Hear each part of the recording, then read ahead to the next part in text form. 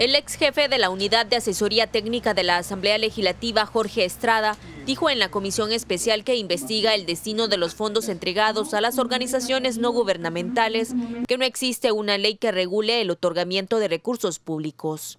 El otorgamiento a, a los fondos o la incorporación de ONG era un mecanismo regulado legalmente. Era la voluntad de los señores diputados, pero hacía una ley interna. Mecanismos irregulados en la ley ni en reglamento no. Era costumbre que se hacía. Indicó que el presidente de la Comisión de Hacienda era quien informaba por medio de un papel a qué ministerio se debía disminuir fondos para destinarlos a las ONGs. Entre los nombres que mencionó se encuentran los exdiputados Lorena Peña del FMLN y Guadalupe Vázquez de Gana. Lorena Peña,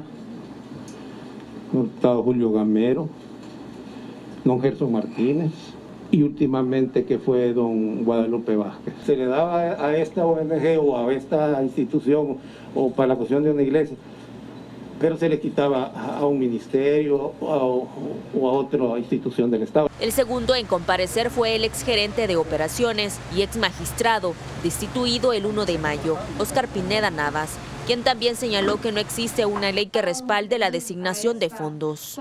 Ah, no hay una normativa específica para ese otorgamiento, no la hay. Tal vez nunca eh, lo llevamos a una discusión de análisis si eso era eh, si debía de haberse tenido un, un, parámetro, como dice usted. Indicó que algunas organizaciones no gubernamentales enviaban su informe sobre los gastos realizados con fondos públicos. Para Teleprensa Canal 33, Doris Chicas.